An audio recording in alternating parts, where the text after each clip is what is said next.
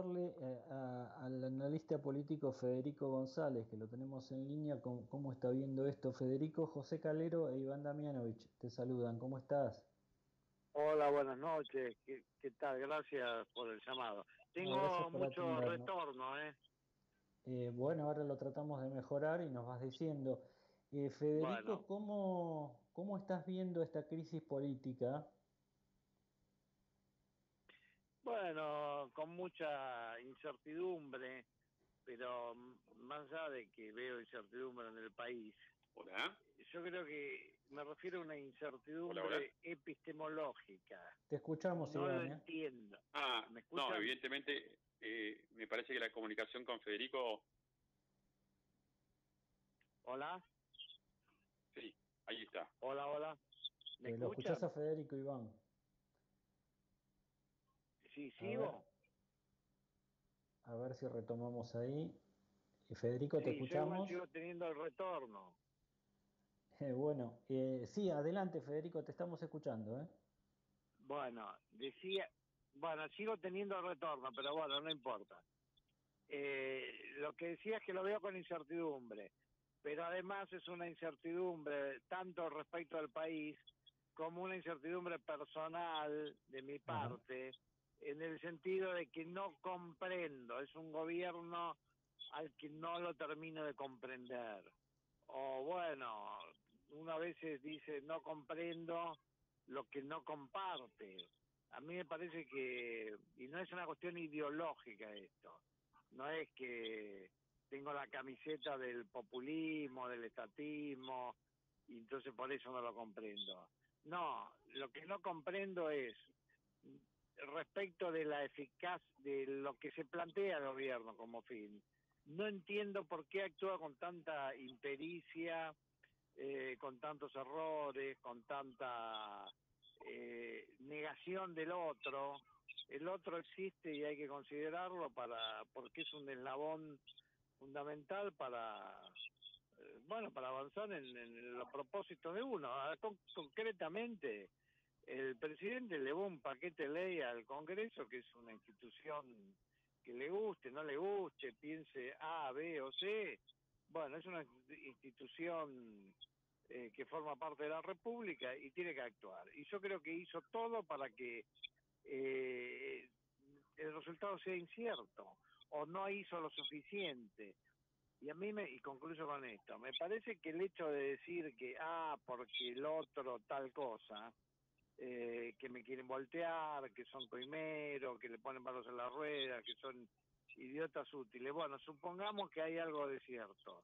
Bueno, no importa, uno tiene que actuar en virtud de que esa realidad es así y actuar para salirse con la de uno, vamos a decir en esos términos, aún en ese marco de adversidad.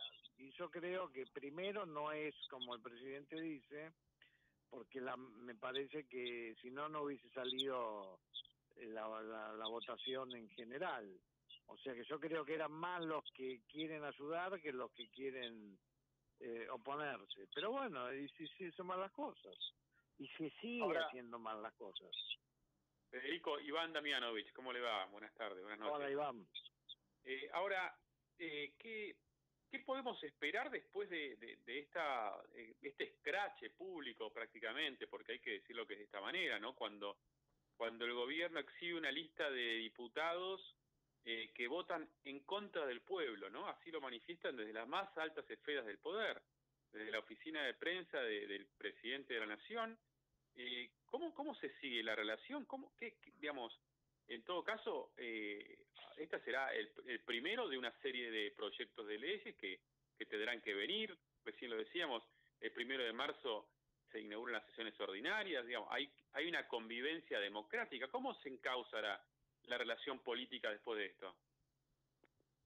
Y bueno, no, sé, forma parte de esa incertidumbre. Yo creo que eh, dos consideraciones. Bueno, una respecto del ADN que hasta ahora evidenció, vamos a hablar sin eufemismo, que evidenció Javier Milei, porque uno dice el gobierno, el gobierno, pero acá no es que hay un partido político y hay figuras que también cuentan, no, acá el gobierno es Milei, es decir, eh, eh, no es Milei el emergente de, de un partido político que tiene, no, es Milei. Entonces, eh, yo creo que, y esto es una reflexión por ahí escéptica sobre la vida de las personas, y hablando del tema del cambio, del cambio, del mentado cambio, yo creo que lo más difícil es que las personas cambien. En general no suele ocurrir. Y entonces acá eh, uno tendría que decir, bueno, ¿cambiará mi ley? Y yo creo que no, no va a cambiar porque me parece eh, que ya lo evidenció con su reacción de doblar la apuesta. Entonces, esa para mí es negativa porque es como, ¿cuánto puede aguantar esta tensión? No, no va por buen camino y no es bueno la tensión porque la tensión es como la tensión de Alberto con Cristina. Nunca se resolvió, pero llevó a una parálisis de ese gobierno.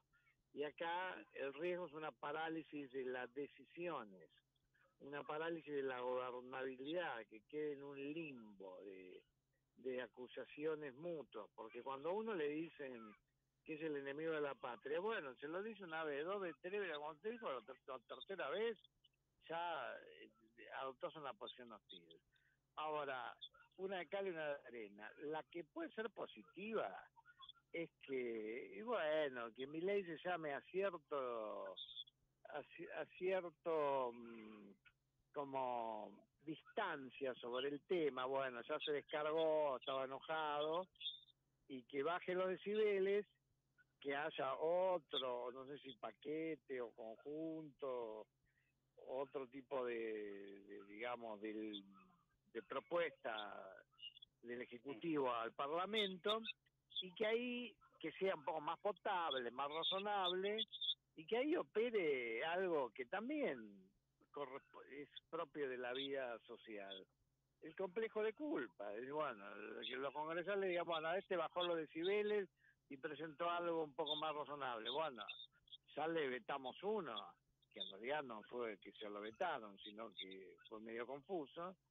Y bueno, este démosla para adelante. Pero para que pase eso, mi ley tiene que, que bajar eh, la intensidad de sus tonos. No si eso no pasa, esto no va a andar. Para mí, ¿no? Bien, Federico, gracias como siempre. ¿eh? Le mandamos un fuerte abrazo. No, al contrario, gracias a ustedes, que tengan buenas noches. Chao. Bueno, ahí estaba el analista político eh, Federico González.